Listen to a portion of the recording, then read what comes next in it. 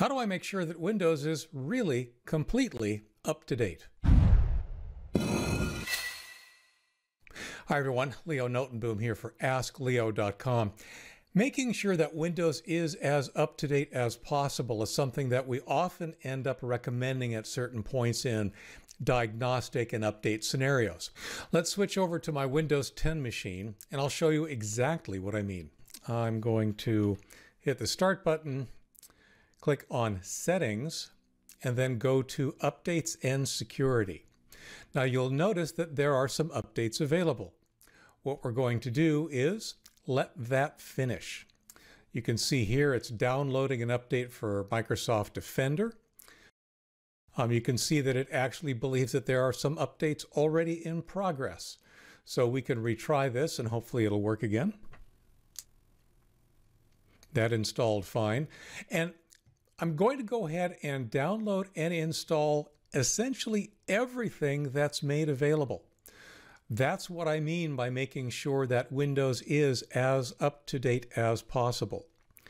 Now, depending on what kind of updates these are, they can take a little bit of time, a lot of time. They may even involve rebooting the machine. But we're going to let that all happen and then come back to this window.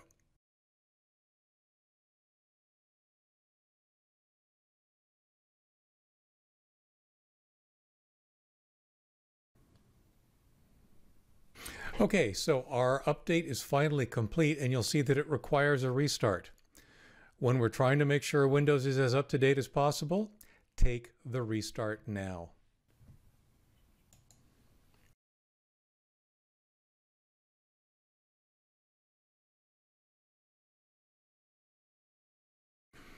Once we're back into Windows, we'll go ahead and sign in again. But don't think that you're done.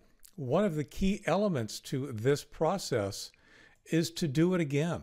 So I'm going back to settings and to updates and security, and I'm letting it check for updates yet again. And you'll notice there were more. Just because you successfully ran one update pass doesn't mean that all of the updates that are available have in fact been installed. Once again, we have a few number of updates to be installed here, and we will be installing them. Since it is pending restart, we're going to go ahead and reboot yet again. We're back again in Windows. And once again, I'm going to go right back to the Settings app to Update and Security, and I'm going to let it check for updates yet again. This time it tells me that I'm up to date, that there are no more updates. You know what? I'm a paranoid kind of guy. I don't believe everything that Windows always tells me. So I'm going to hit check for updates again, manually. Only when that manual check for updates completes and tells me that there are no further updates, do I believe it. And as you can see, even though it said we were up to date, there were more updates to be had. I'm going to do it again. Now, finally, I have faith that Windows is as up to date as possible.